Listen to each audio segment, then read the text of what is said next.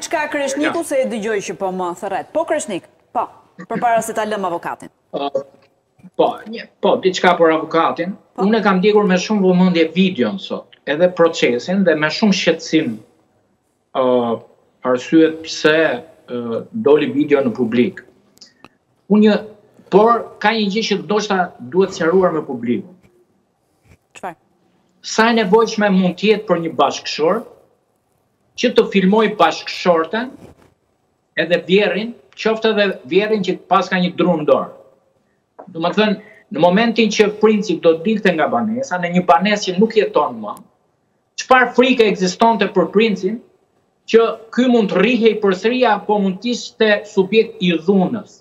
Pra, A mos ka qenë e shpejtuar denoncimi për bashkëshorten dhe vjehrrin në polici dhe unë kam bindjen time personale, qoftë njerëzore, qoftë ligjore, që jo vetëm që ka qenë e shpejtuar, por nuk mund të besosh te kjo polici shteti fytyrën e familjes dhe nënës së fëmisë tënd.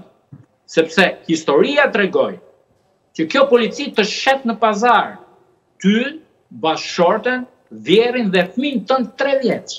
Pra, ju ligjërisht a ka a e shikoni që ka qenë e arsyeshme po, po, pse e ka filmuar dhe pse e ka dorëzuar në polici se duhet të kërkojë mbrojtje në polici princi për këtë debat. Unë mendoj që është një debat që mund të ndodhë në pesëdhjetë për qind të familjeve shqiptare. Ja ta dëgjojmë avokatin. Avokat, pse e ka filmuar pra dhe pse e ka ekspozuar në polici më pas? Po unë realisht nuk mendoj që është konstatimi i, i saktë, konstatimi juaj për disa arsye. Së pari njëherë nuk mund të themi që nuk jeton më në atë banesë, nuk po jeton përkohësisht në atë banesë. E para, e dyta marrëdhënia është shumë intensive sepse flasim për një njeri, po flasim për princin që shkon pothuajse çdo ditë, madje më shumë se një herë në ditë, në me gjithë të drejtën, në shpinën e tij për të takuar vajzën e tij. Dhe nuk mund të themi me siguri që kjo ë skenë nuk do të përsëritej përsëri, se nuk mund ta themi këtë, nuk mund ta garantojmë këtë. E para, e dyta, mund të ishim përpara një uh, veprimi dhe kemi të gjitha premisat që s'mund t'i ekspozoj tani për për të qenë përpara një veprimi uh, nga pala tjetër që ajo vetë mund mund të mund të mund të drejtojë policisë për të kërkuar ajo urdhër mbrojtje dhe për të bërë ajo një siç edhe e ka bërë.